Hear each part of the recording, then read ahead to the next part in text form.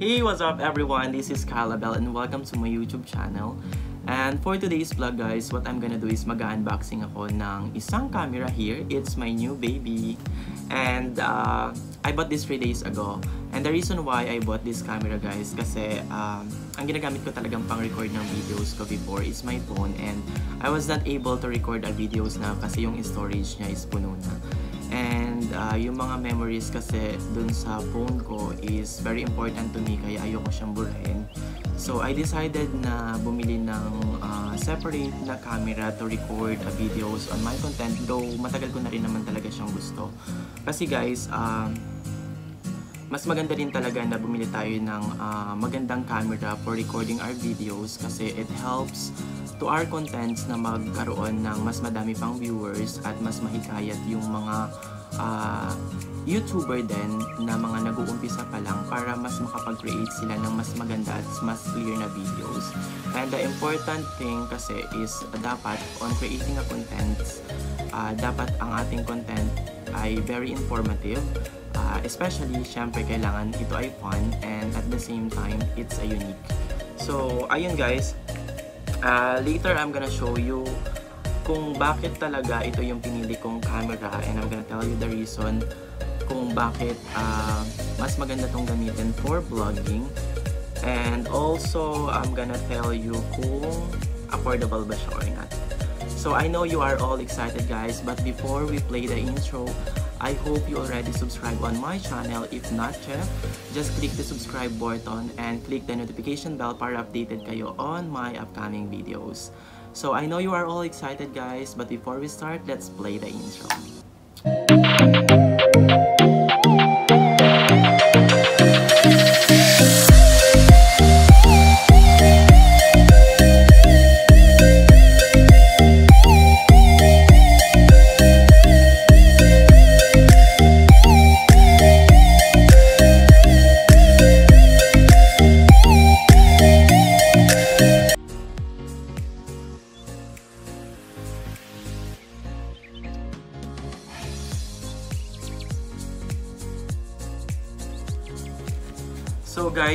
Camera it comes with uh, a camera bag na ano siya, free lang siya.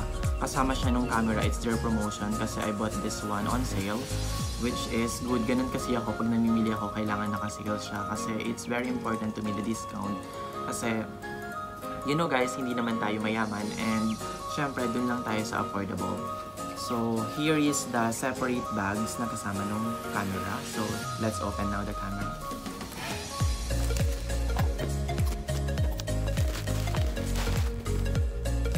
Here you go guys, I already removed the plastic and before we proceed to open the box, uh, I'm gonna tell you the model, kung ano talaga yung model nung uh, camera na binili ko. Ayan, so yung model niya is Canon EOS 250D. Ayan, uh, napanood ko to sa isa mga YouTubers and vloggers din na uh, ginagamit nila to for recording videos kasi maganda siya and very user-friendly so hindi tayo mahihirapan uh, para gamitin to. So, It's written in the box that it's 24.1 megapixel CMOS. And the ISO is uh, 25600 and 12800. So maganda yung gamitin. Dual pixel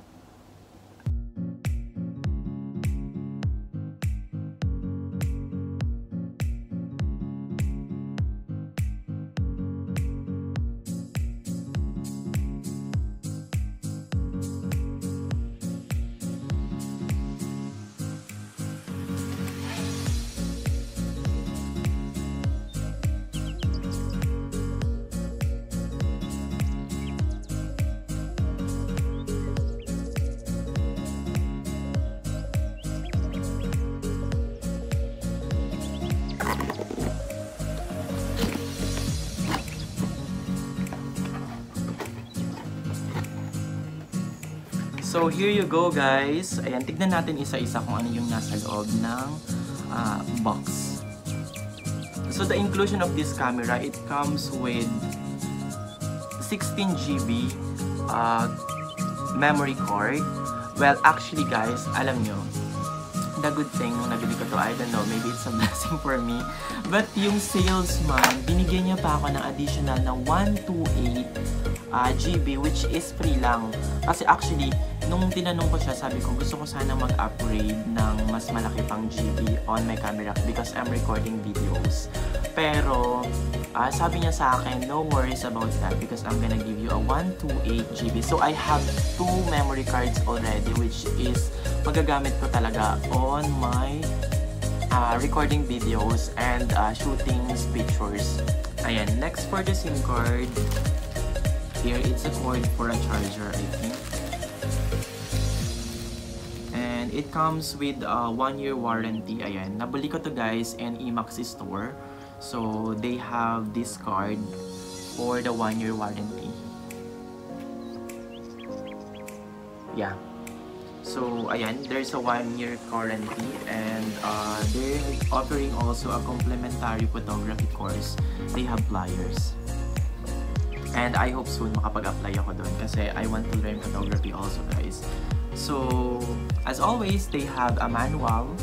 Ayan, they meron silang manual ng uh, EOS 250D camera which is dapat binabasa natin siya guys kasi it's very important then na binabasa natin yung manual. Though alam naman natin siya i-assemble kasi it's easy to uh, assemble it pero mas maganda din na binabasa natin uh, paminsan-minsan yung mga manual nung binibili nating gadget kasi there are times na meron tayong mga nakukuhang information which is new for us. So later babasahin ko to. Buksan na natin. Let's go for the camera. Ayan. So, it's fully sealed siya guys. Ganyan siya ka uh, organized. And lahat siya naka-plastic. So, they have uh, a battery. Separate battery. Here you go. I'm gonna open it. Guys. Para makita ninyo. So, here is the uh, battery of that camera fully sealed. And later, I'm gonna assemble. So, let's put aside for now. So, ito yung partner nung uh, cable or cord na nakita natin kanina. And I'm gonna open this guys for you. So, here is the cable and this is the camera. And this is the camera, sorry. It's uh, a charger na i-connect mo dito para gamitin mo siyang i-charge. Ayan. So, it separate the battery. You just have to remove it in the camera. So, let's put aside this. And the next is... Alright, before we, we proceed to lens, meron din siyang additional na strap. Ayan. It's the brand Canon. Ayan. Ito guys, strap to nung camera. Pero pwede natin siyang isabit on our uh, neck minsan, lalo pag uh, ayaw na natin siyang hawakan. So, let's proceed to the lens. Ayan, fully sealed siya guys. Kailangan kasi talaga dapat sobrang maingat ka dun sa lens na to. So it comes with two bubble wrap and meron pa siyang separate na plastic. Here you go. So here's the lens of the Canon. Here, this meron siyang cover which is you can remove it. Ayan, and it comes with a cover then ng pinaka lens niya. Actually, magaan siya guys, unlike nung mga na-encounter ko na ibang camera. And this lens comes with uh, 18 to 55mm only. Yung uh, usually pag bumibili ka ng camera, ito talaga yung pinaka uh, I don't know if uh, the word is default na lens na meron ang isang camera. So, it's 18 to 55. It's very handy siya and magaan siya guys. So, let's proceed with the body. So, ito na yung body ng camera. Comes with uh, cover din na naka-separate. So, here you go. Ganito siya guys pag bago nyo siya binibili. So, yung pinaka-lens niya is separate and they have also separate cover. And this is the body. Meron din siyang cover. Ayan. I'm gonna show you kung paano siya. So, ayan talaga yung loob ng camera niya. Pero guys, huwag yung hahayaan na naka-open to kasi ito yung pinaka lens niya sa loob is pag nadumihan siya, medyo nag-blurred yung uh, kinukunan natin. So, you have to be careful on this guys na dapat lagi siya naka-close, most especially kung hindi natin siya ginagamit. Pero kung nandun naman yung lens niya, so that's fine.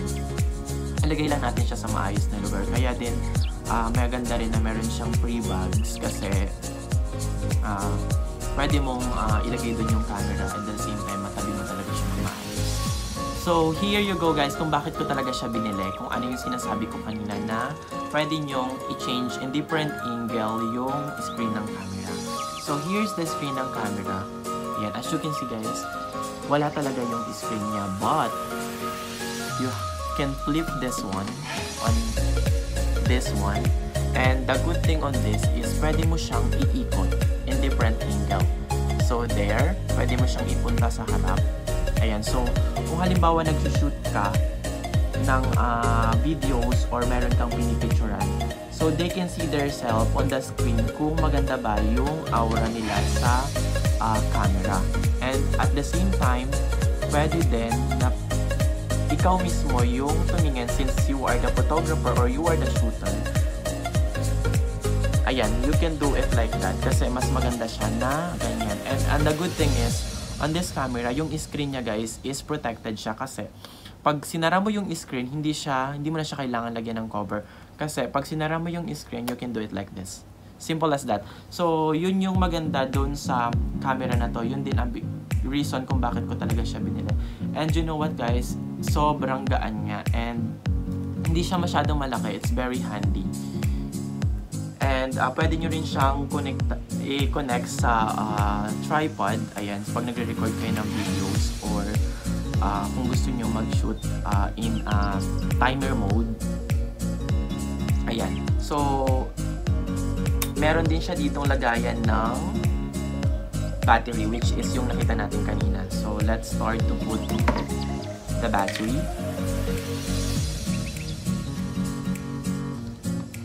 Yeah, there you go. Nalagay ko na siya. Medyo kinabahan ako sa paglagay ng battery. Baka kasi mali yung pagkalagay. Kaya dapat um, ingatan natin siya guys pag ina-assemble natin. Kasi it's new. It's my new baby. And after that, okay. So, tignan natin kung may laman yung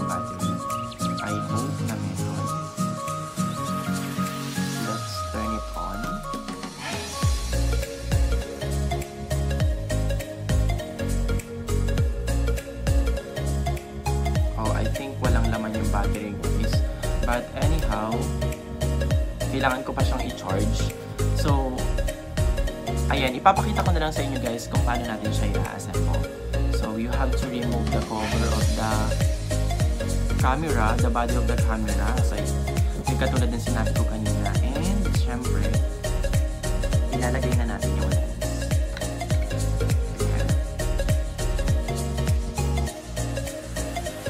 Ayan, kung nakikita nyo guys yung metal na yan, yung pag uh, i-insert at paglalagay ng lens talaga yan. Kung nakikita nyo, meron siyang gold metals. Ipagtatama nyo yun guys and you have to twist it para malak yung camera. So, let's do it.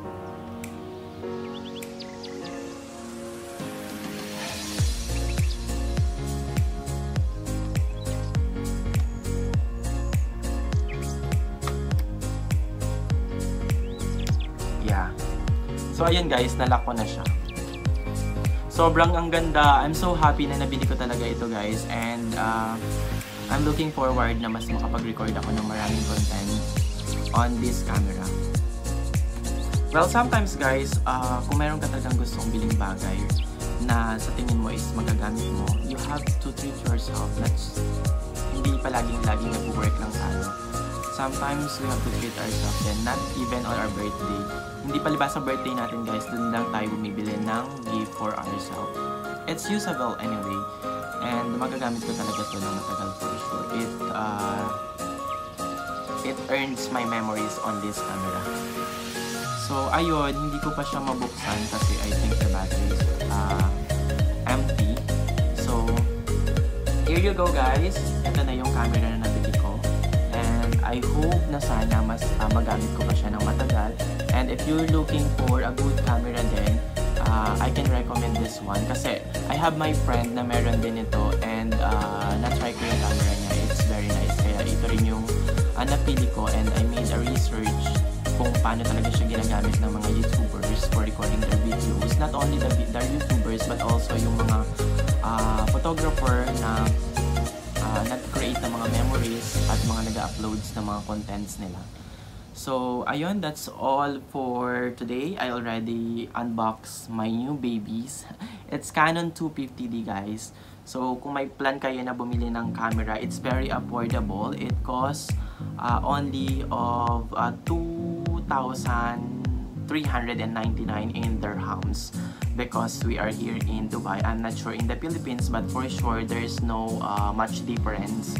Kasi, uh, Uh, bago lang din naman to. By the way, this is 2019 uh, series guys. So, hindi siya ganun ka bago. But then, uh, yung quality kasi ng camera is uh, alam kong maganda siya. So, I decided to bought this one. Alright, so Thank you so much guys. That's all for today and I hope you like this video and you learn things on this video. So kung di pa ikaw nakasubscribe sa aking YouTube channel para updated ka on my upcoming videos, just click the subscribe button and the notification bell para updated ka sa mga susunod pa na mga vlogs ko on my channel. So again, thank you so much guys for watching. Uh, be safe always and God bless.